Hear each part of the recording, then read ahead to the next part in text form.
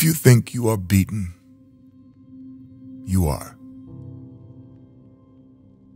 If you think you dare not, you don't.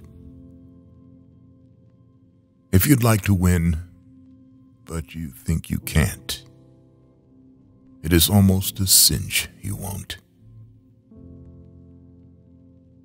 If you think you'll lose, you've lost.